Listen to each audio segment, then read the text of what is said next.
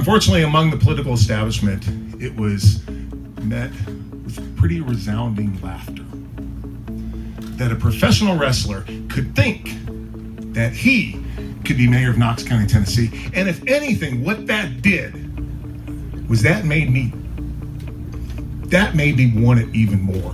But not for me, because what they were saying was, he's one of them. He's one of you.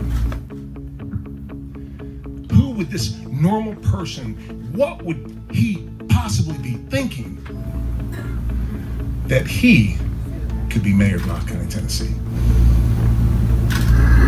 What do they think about you? No matter what happens, I'll always be one of you. May call me mayor, call me anything you want, but I am always going to be one of you.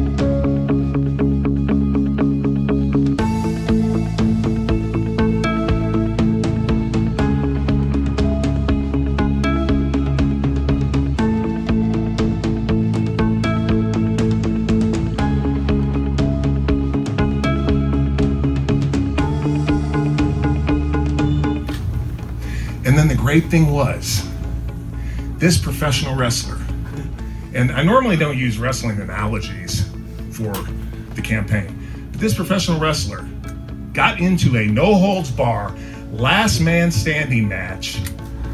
And when the bell rung, he was victorious. We were victorious because it was thanks to the efforts of everybody here